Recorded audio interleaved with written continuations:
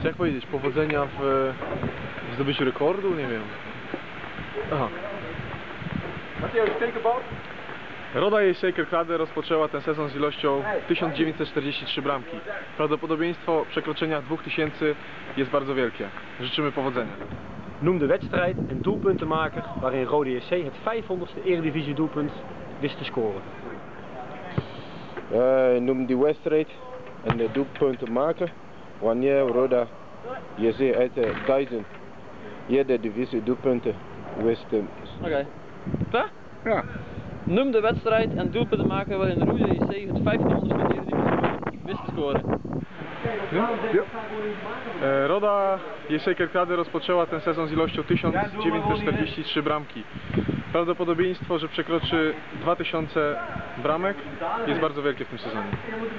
1943 bramek. Bo już Hej Mateusz, Okay.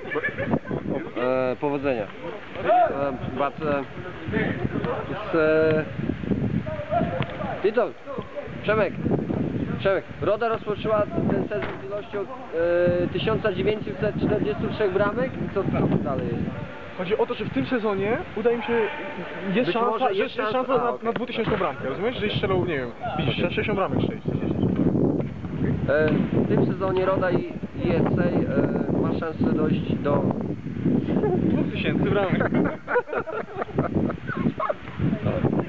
E, Roda Kerkrade zaczęła ten sezon z ilością 1943 bramek. W tym sezonie ma szansę, aby doszło do 2000 bramek.